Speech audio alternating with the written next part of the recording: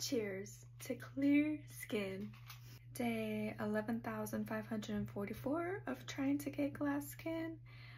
Let's do this. This is my No Cleanse AM skincare routine. These are the products that I use every single day in the morning and I have a different routine for the night. First up, Mixsoon Centella Asiatica Toner. And I pat that into my skin. I go in with the Anua Niacinamide 10% Dark Spot Correcting Serum.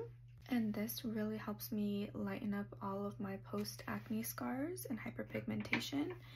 I notice a difference when I use this uh, within a week. My dark spots lighten up so much. And again, I really just pat it into my skin. I go in with the Curel a Moisture Repair Eye Cream. Very, very rich. Uh, you only need a little tiny bit and it goes a long way. Then I go in with the Curel Intensive Moisture Facial Cream. And this one is really, really rich as well and I just put a little bit on and like I said a little bit goes a long way. I'm trying to find the words to describe this cream. It feels like a cloud, like a literal cloud when you rub it in.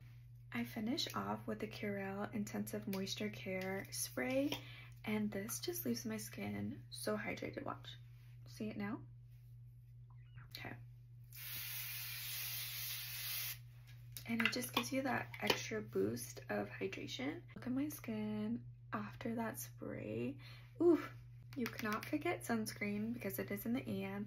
I go in with the Tocobo Hyaluronic Acid Bio Watery Sun Cream.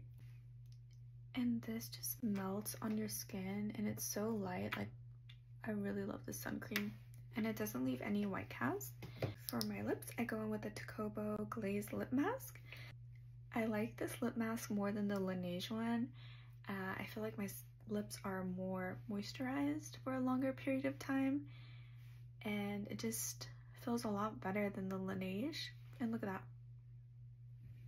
I haven't ate anything yet, so I'm gonna eat a ginger, a whole ginger, and then wash it down with some turmeric and probiotics.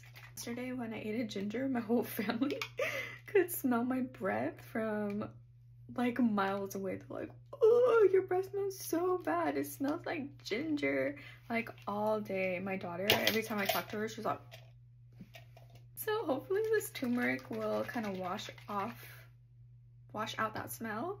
And I'll probably put some mouthwash in afterwards so my family doesn't suffer, you know? I care about them. Some people are telling me to ferment the ginger, ginger have I been saying ginger? I mean garlic. My bad. My bad. Garlic, guys. I'm taking a whole garlic.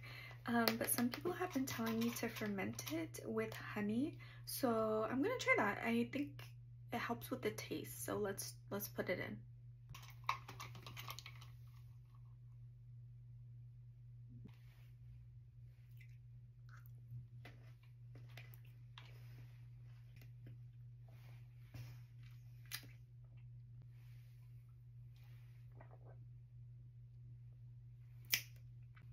Uh, I think I like it better without the honey, but since I poured a bunch of honey already on all this garlic, I'm gonna finish this up. I'm not gonna waste it.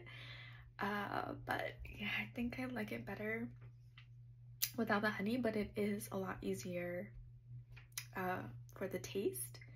Still um, pretty rough going down, pretty rough. Happy Monday. Hope you guys have an amazing day. Bye.